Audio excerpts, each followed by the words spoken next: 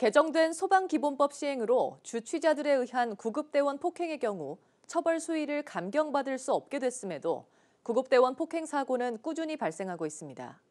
상황이 이렇자 처벌 수위를 높여야 한다는 지적까지 나옵니다. 박상영 기자의 보도입니다. 구급차에 누워있는 한 남성.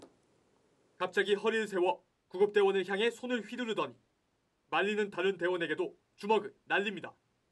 남성은 구급대원에게 제압당한 뒤 결국 경찰에 인계됐습니다. 이 같은 구급대원 폭행은 꾸준히 발생하고 있습니다.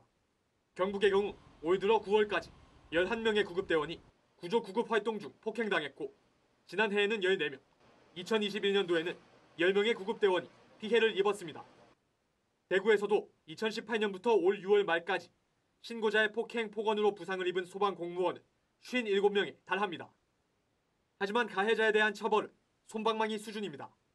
대부분 벌금형이나 기소유예에 그쳤는데 가해자 10명 중 9명은 술에 취한 상태여서 정상 참작을 통해 처벌 수위가 낮아진 것으로 풀이됩니다.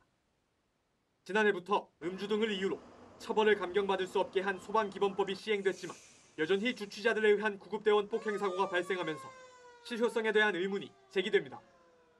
아, 구급대원과 소방대원을 폭행하는 주치자에 대해서는 무관용 원칙을 적용해서 엄중하게 처벌한다면 우리 사회의 경각심을 일깨워서 폭행 사건을 줄일 수 있다고 생각됩니다.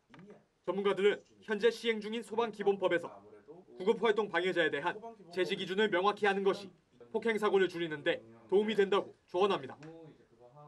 정확하게 어떠한 제지를 할 수 있고 어떠한 행동까지 구급대원이 할 수 있다라는 거를 규정을 내려서 이 119 구급대원 그 현장활동 표준 지침에 추가를 해서 구급대원에게 교육을 하면 조금 이 폭력이 이루어지기 전에 그 사람의 행동을 제지할 수 있지 않을까라는 HCN 뉴스 박상현입니다.